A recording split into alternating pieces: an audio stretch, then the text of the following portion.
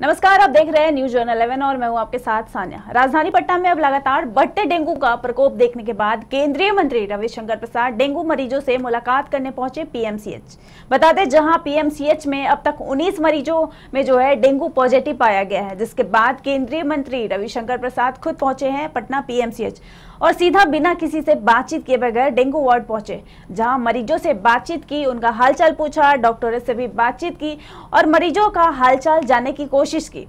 आप तस्वीरों के माध्यम से देख सकते हैं कैसे पीएमसीएच पहुँचते ही केंद्रीय मंत्री रविशंकर प्रसाद सीधा जो है डेंगू वार्ड पहुँचे हैं, अस्पताल का निरीक्षण किया जहाँ डेंगू से पीड़ित लोगों का इलाज चल रहा है। मरीजों से बातचीत की, उनका हालचाल पूछा। वही आप देख सकते हैं कि अस्पताल के बाहर कड़ी सुरक्षा व्यवस्था का इंतज़ाम किया गया है। इन सब के बाद मीडिया से बातचीत की। और क्या कुछ कहा है, सुनिए। बाकी सभी को दवा देने के बाद छुट्टी दे दी गई। अभी उसमें से कितने बचे हैं? अभी 16 बचे हैं बाकी डिस्चार्ज भी हो रहे हैं। तो जैसा इन्होंने बताया प्रदेश सरकार भारत सरकार सब लोग मिलकर काम करेगी। कोई कमी नहीं होने दी जाएगी। हमारे पार्टी के कार्यकर्ताओं ने युवा मोर्चा के कार्यकर्ताओं ने यह भी आग्रह किया है किसी को ब्लड की आवश्यकता होगी हम लोग सब लोग इसीलिए घूम रहे हैं।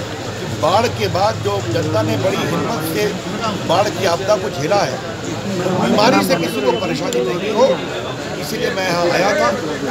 मुझे जानकर फ्रेंड ने बताया मुझे संतोष हुआ है कि संख्या बहुत कम हो गई है। उनका इलाज ठीक से होना चाहिए मैंने स्वयं मरीजों से बात की है और आगे से कोई दिक्कत नहीं होनी चाहिए इसका विषय चिंता करेंगे मंत्री जी 800 पॉजिटिव केसेस अभी भी पाए गए हैं और टोटल एक सौ उन्नीस मरीज़ यहाँ आए हैं। और इतनी बड़ी संख्या ये नहीं है, क्योंकि सामान्यतः इन दिनों इसी संख्या में मरीज़ आते हैं। हमारी जागरूकता होनी चाहिए कि हम लोगों ने करीब करीब पचहत्तर बेड डेंगू के लिए रखा है। दवाओं की पूरी व्यवस्था है। हमारे यहाँ प्लेटलेट उपलब्ध है। प्राइवेट अस्पताल को भी हम प्लेटलेट दे रहे हैं। अपने सभी मरीजों को हम इलाज कर रहे हैं। आठ सौ से ज़्यादा डेंगू पॉजिटिव केसेज जो आए हैं। वो सिंपल इन्फ्लुएंजा के केसेज हैं। वो सिंपल सर्दी खांसी बुखार के केसेज हैं।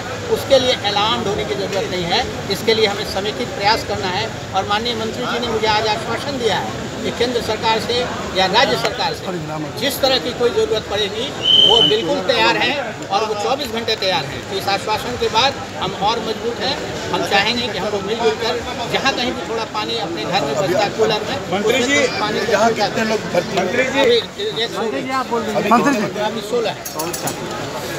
हालाँकि बिहार में डेंगू के बढ़ रहे खतरे को मद्देनजर रखते हुए अस्पतालों में भी इलाज की व्यवस्था की गई है। पटना में स्वास्थ्य विभाग ने 22 पीएचसी में डेंगू के जाँच की व्यवस्था कराई है। वही आपको बता दें, पटना के दो सबसे बड़े अस्पताल पीएमसीएच और एनएमसीएच में डेंगू की जाँच के लिए कैंप लगाया जाएगा। देखा जाए तो पहले भारी बारिश से लोग परेशान थे, फिर जल जमाव और अब डेंगू ने बिहार में लोगों को डराना शुरू कर दिया है। और लोग जो है, अब डेंगू की चपेट में आ गए हैं।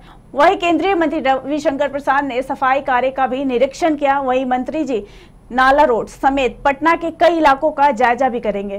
तो अभी फ़िलहाल इतना ही। ऐसी तमाम खबरों से रूबरू होने के लिए देखते रहिए न्यूज़ वन इलेवन और हमारे चैनल को सब्सक्राइब कर बेल आइकन दबाना ना भूले। नमस्कार। वन इलेवन के वीडियोस को देखने के लिए चैनल को सब्सक्राइब करें और बेल आइकन का बटन दबाएँ।